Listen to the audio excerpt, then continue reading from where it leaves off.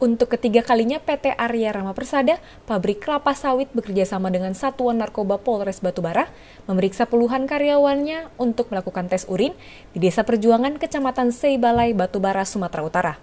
Kegiatan ini bertujuan untuk meningkatkan kualitas karyawan dalam bekerja, serta sebagai cara agar karyawan PT Arya Rama Persada terhindar dari narkoba. 50 orang karyawan satu persatu diperiksa oleh petugas Satuan Narkoba Polres Batubara. Menurut Wakapolres Batubara, Kompol Herwan Syaputra, baru kali ini ada perusahaan yang bekerja sama dengan Polres Batubara untuk mencegah penyalahgunaan narkoba. Hari ini kami ada kegiatan pemeriksaan urin kepada seluruh personil karyawan daripada PT Arya Rama Persada yang bersama dengan Polres Batubara.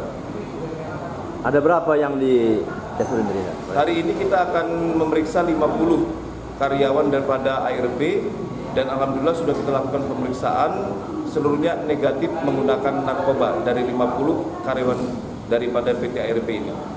Apakah ini memang program dari perusahaan Anda?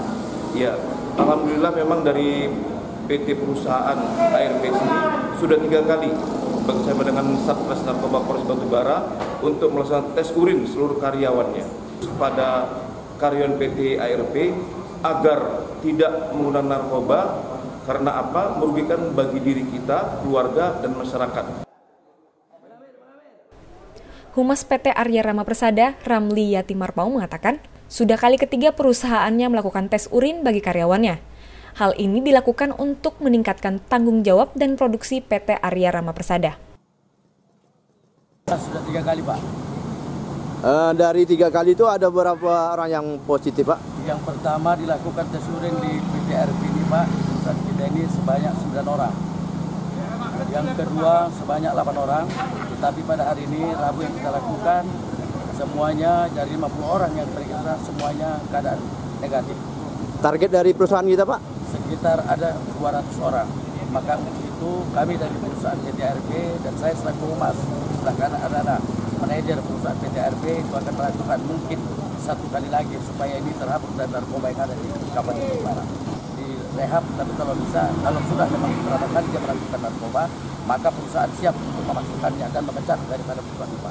Oh jadi statusnya kalau positif dia memang dipecat Pak ya? Kalau memang sudah tiga kali, dua kali dilakukan, tetap melakukan, maka akan dipecat Pak. Itu sanksi dari perusahaan. Dari Batubara, Sumatera Utara, Soleh Pelka Tribrata TV, salam Tribrata.